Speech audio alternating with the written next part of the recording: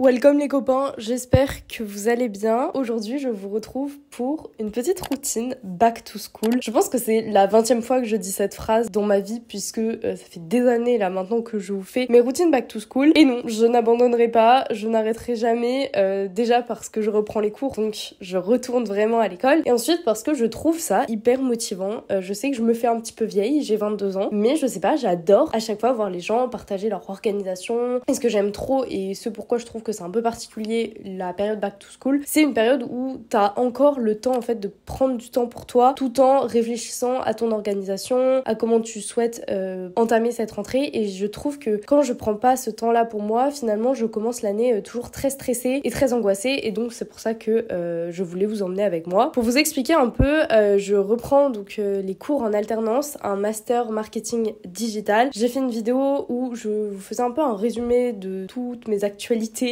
scolaires et tout, donc n'hésitez pas à aller voir. Mais euh, j'aurai donc deux rentrées. J'aurai une rentrée pour le travail et j'aurai une rentrée pour l'école. Pour l'instant, ma rentrée pour l'école, école, euh, c'est pas tout de suite, c'est dans deux semaines et demie, trois semaines, je crois, si je dis pas de bêtises. Et je veux pas trop vous en dire parce que je vous emmènerai, je pense, dans un vlog de toute ma semaine. Mais là, je reprends euh, le travail. Je vais quand même avoir du télétravail puisque c'est la période du mois d'août et que ça sert pas à grand chose que je reste sur Paris, donc je vais descendre dans le sud. Et en attendant, aujourd'hui, c'est un peu la journée que j'ai dans mon appart toute seule pour me recentrer sur moi puisque je reviens de camp et que bah forcément t'es es très enfin t'es tout le temps avec des gens t'es en train d'encadrer des gens donc c'est très stressant. Et là je veux vraiment faire tous les trucs que j'ai envie de faire avant ma rentrée et pour être totalement concentrée. Donc je vais aller faire un petit peu de shopping je pense. Déjà j'ai acheté ce petit haut hier. Euh, donc je suis trop contente et je vais essayer d'aller faire les fripes. Je vais y aller en marchant donc de chez moi jusqu'à Châtelet. Ça doit être genre quasi une heure à pied, mais j'ai vraiment envie de voir Paris, de m'aérer. Et je vais évidemment vous emmener avec moi. Ce soir, je vais faire ma petite routine tout au calme chez moi. Et je pense que je vais parler de mes objectifs pour la rentrée, de euh, mes petits tips, organisation et tout. J'ai pas mal de choses à vous dire. Euh, n'hésitez pas en tout cas à vous abonner à ma chaîne puisqu'il y aura beaucoup d'autres vidéos back to school. J'ai un nouvel objectif donc le contenu va être encore plus stylé normalement. voilà, j'espère que ça vous plaira. N'hésitez pas aussi à me suivre sur TikTok et sur Insta. Et à tout de suite. Je vous avoue que j'arrive pas à savoir s'il fait beau ou pas, euh, puisqu'il pleut tout le temps là à Paname.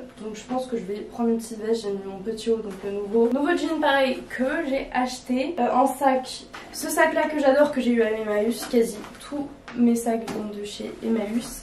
Et en veste, bien, bonne question.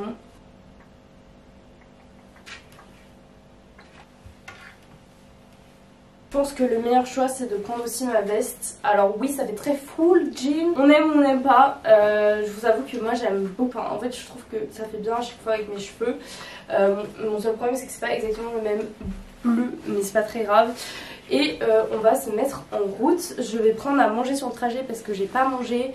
Et donc on commence donc cette rentrée, cette nouvelle année en se déculpabilisant. C'est pas grave si ton frigo est vide, c'est pas grave si des fois tu prends à manger au bar, c'est pas grave si c'est de la merde, pas tout le temps. Mais moi je sais que mon année prochaine va être tellement intense, va être tellement compliquée niveau taf, niveau euh, emploi du temps, que si je commence à me culpabiliser tout le temps, à vouloir avoir ma routine parfaite, à vouloir que tout soit parfait, bah comme je vais vous expliquer dans cette vidéo, ça va pas être possible, euh, voilà, tout simplement parce que euh, je suis humaine et que sinon mon cerveau va péter un câble.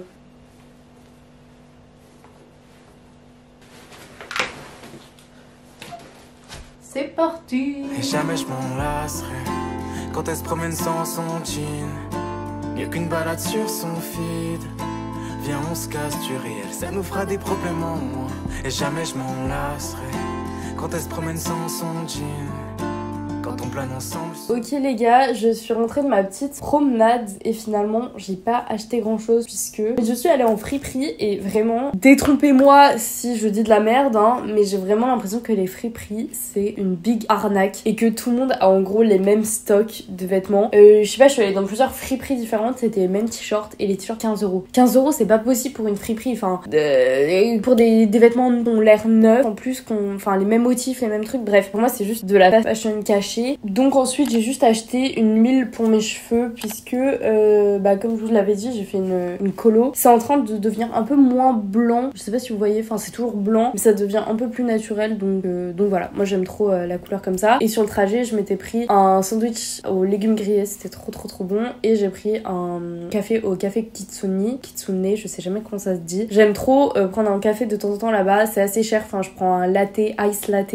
au lait d'avoine donc je paye genre 6 euros je crois. Donc c'est pas donné hein, euh, mais de temps en temps j'aime trop quand je vais à l'autre bout de Paris marcher avec mon petit café et tout. Voilà, ça fait extrêmement cliché. Euh, oui, soit dit en passant, j'ai vraiment une gueule horrible et je suis épuisée parce que je viens de pleurer pendant 30 minutes. Et euh, je voulais juste au moins vous montrer les petits achats que j'ai fait hier, même s'il y en a pas énormément. Bon, je vous avoue que cette année je vais pas faire un big haul back to school machin et tout parce que voilà quoi, je m'obstine tous les ans à acheter des fournitures et je les perds au bout d'une heure donc ça sert à rien. J'ai juste acheté des stylos chez Action qui sont trop bien, enfin qui sont un peu pinceaux et tout. Donc je me dis si de temps en temps j'ai envie de faire des notes histoire de me motiver, ça peut être cool. J'ai acheté ce carnet Oxford euh, Paris chez Action, je crois 2 euros et euh, il est vraiment top. Je l'utilisais pour toutes mes, enfin toutes mes fiches de bac euh, et, quand j'étais au lycée et il est vraiment cool cool cool.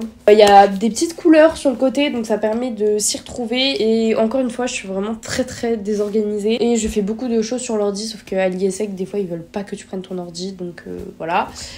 Ça, je l'ai pas acheté parce que c'était un partenariat il y a longtemps. Vous voyez, je garde vraiment sur le long terme hein, les trucs. Ça fait genre 2-3 ans. Et donc, j'ai gardé cette petite trousse euh, qui est, ma foi, assez cool pour pouvoir mettre euh, bah, mes affaires. On va essayer d'être organisé. Vraiment, j'ai l'impression d'être en CP quand je fais mes fournitures. Hier, ma petite sœur m'a fait un haul back to school. Euh, J'avais l'impression de me voir sur YouTube.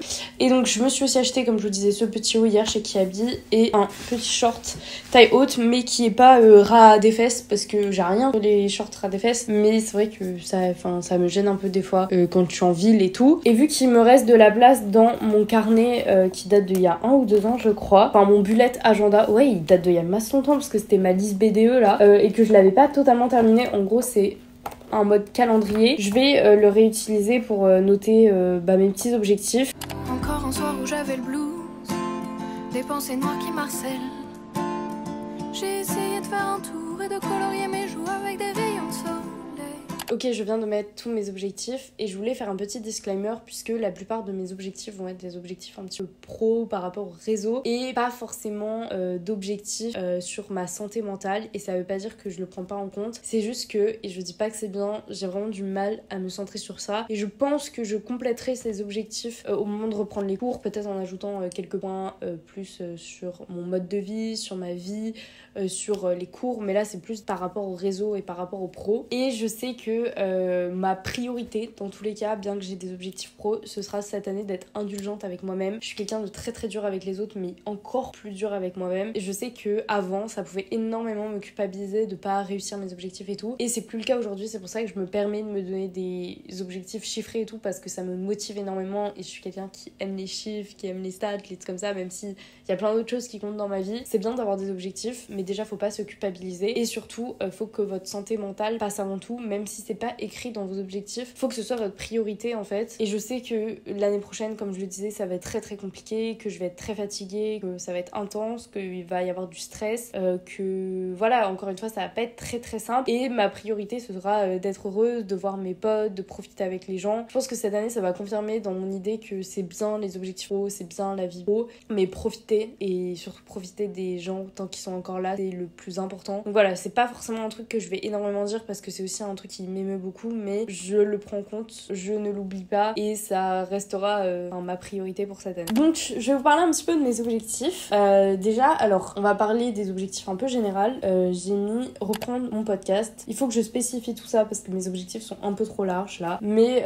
voilà, j'ai fait une big pause sur le podcast. C'est pas que j'aime pas, c'est pas que j'ai pas envie de continuer, c'est pas que je vais pas au bout de mes projets. C'est juste qu'au moment où des événements très compliqués de cette année, j'avais pas envie de parler pendant 40 minutes de ma vie quoi parce que je me suis dit le podcast c'est un c'est pour quand je vais bien et là je l'ai pas bien. Bref, donc je vais essayer de reprendre. Et ensuite j'ai mis faire des photos et euh, gagner un petit peu ma vie grâce aux photos. Vous savez, j'ai fait des shootings et tout. J'ai trop envie d'installer une sorte de studio dans mon appart, donc je vous emmènerai avec moi. Mais j'ai trop trop hâte. Et, euh, et voilà, j'aimerais vraiment pouvoir euh, commencer à faire des shoots un peu payants. Encore une fois, dans la limite du raisonnable en termes de temps, dans le sens où je travaille, j'ai des études, j'ai un mec, j'ai des projets. Donc voilà, c'est pas que ce sera un bonus parce que j'adore ça, mais juste, le... enfin, faut pas que ça me prenne trop de temps et d'énergie parce que je n'ai pas assez de temps et cette énergie énergie. Ensuite, j'ai mis aussi faire des photos de concerts et de festivals. Euh, ça, j'en ai fait énormément cette année. Ça a vraiment changé ma life. Euh, vous savez, j'aime trop. En plus, c'est ce que je vous partage sur TikTok. C'est ce qui me rend heureuse vraiment quand je fais des shoots photos, que ce soit concert ou non. Mais c'est là que je vibre. Et je pense que euh, l'année prochaine, enfin vraiment, un des big objectifs qu'on s'est mis avec mon mec, c'est que lui, il fasse des festivals en mode chanteur et moi en mode photo. Et quand on est allé à des festivals, on était en mode, allez, l'année pro, genre, moi je suis en front row, je suis au dans le crash. Et toi, tu es sur scène. et on verra. J'espère que la Bouline dans un an euh, verra ça et se dira bravo meuf, t'as réussi. Un objectif, c'est d'écrire une autre chanson ou un poème. J'ai écrit une chanson avec mon copain qui s'appelle 7 Avenue des Anges. Normalement, on va en écrire une autre ensemble. Euh, je n'écris pas tout seul puisque je n'ai pas assez confiance en moi. Et en fait, au-delà de ça, c'est juste que je sais pas à qui les faire chanter. Enfin, je sais qu'on peut être euh, écrivain pour d'autres euh, artistes et tout, mais pour être 100% honnête, j'ai pas trop le temps en ce moment de me pencher sur la question. Et donc voilà, et j'aimerais aussi réécrire des poèmes. À la suite du décès, j'ai écrit énormément de poèmes il y a quelques mois. J'en avais écrit aussi à l'époque, après ma rupture. Et j'aimerais bien en faire quelque chose, pourquoi pas un recueil un jour ou un truc. Euh, J'avais l'idée de faire une sorte de recueil avec des photos. Oui, je spoil mes projets. Je ne sais pas si ça verra le jour, peut-être dans un an, peut-être dans plus longtemps. Encore une fois, il y a plein d'objectifs qui vont me venir après, je sais, mais là, c'est ceux auxquels je pense. J'ai mis bah, continuer à travailler avec euh, Taïm, donc mon copain, pour la musique, parce que je suis un peu sa manageuse, et avec euh, Céleste, donc euh, Olympia sur les réseaux qui va reprendre normalement la chanson et tout.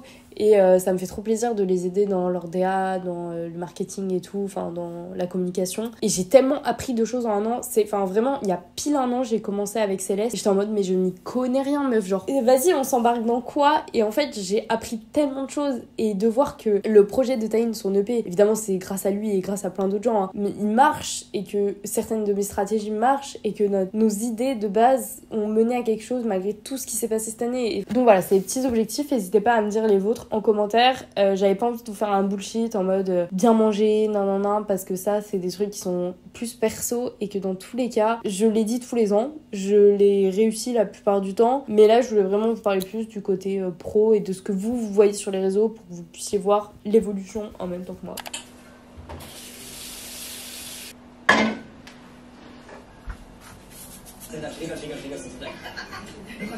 Lyon aussi pour moi juste pour avoir une idée du temps que les choses me prennent parce qu'à chaque fois je fais au Ok les gars, donc là j'ai mangé euh, des petites coquillettes. Normalement je mange des légumes tous les soirs, mais mon frigo était vide. Et j'ai zoné sur YouTube. Bon alors j'ai zoné parce que déjà j'aime bien zoner sur YouTube. Et aussi parce que euh, ça fait plusieurs semaines que... Bah enfin ça fait deux semaines que j'étais pas euh, active sur les réseaux et tout. Et je vous avoue que j'ai... J'avais besoin de reprendre sur YouTube et tout. Puisque c'est quand même mon métier de bosser dans l'influence. Et, euh, et voilà, j'essaie de justifier ma non-productivité. Non, en vrai, c'est. Enfin, j'aime bien me tenir au courant des, des tendances, des trucs comme ça, de voir les gens. Et franchement, toutes mes années à passer des heures sur YouTube payent, puisque je gagne énormément de temps dans mon taf, puisque je connais tout le YouTube game. Franchement, je suis une, je suis une zinzin. Et ce qui est trop drôle, c'est que Mathilde aussi. Et des fois, genre, quand il y a des gossips et tout euh, sur les réseaux, on se les envoie sur Insta. Et, euh, et genre, c'est fou parce que. J'ai une culture de YouTube qui, qui est sensible. Bref. Je me rends compte d'à quel point je suis épuisée, mais je suis aussi contente de reprendre, euh, pas l'école, vraiment pas l'école, mais mon taf. Et je vous jure les gars, pour ceux qui, donc, qui retournent à l'école, pour ceux qui ont besoin de motivation. Genre, j'espère que vous faites des études qui vous intéressent, mais surtout, j'espère que vous travaillez pour avoir un métier qui vous intéresse plus tard. Et voilà, rien n'est perdu. Hein. Euh, si vous faites des études qui vous intéressent pas, ça veut pas dire que vous ferez un métier qui vous intéresse pas. Mais quel bonheur de se lever le matin et d'aimer ce que tu fais. Et franchement, plus que l'argent, plus que tout ça, je préfère me serrer un petit peu la ceinture, sachant que l'année prochaine, je vais quand même me payer pas mal de choses. Enfin, je vais payer mon loyer, je vais payer ma vie. J'ai quand même de la chance d'avoir une ceinture de sécurité parce que j'ai des parents qui gagnent correctement leur vie, hein, j'en ai totalement conscience. Mais si vous avez cette chance et cette possibilité de faire un métier qui vous intéresse, je vous jure que waouh, genre toutes les années à me faire chier en cours prennent leur sens puisque j'aime ce que je fais. Mais bon, je vais quand même devoir retourner en cours. Ça, ça ne m'enchante pas du tout. Bref, je vais me laver. Euh, je vais laver mes cheveux, je pense. Je vais me démaquiller. Et après, euh, je vais peut-être chercher un livre à télécharger sur ma Kindle. Et je pense que je vais encore zoner sur les réseaux. Voilà, déculpabilisons. C'est le mot d'ordre de 2023.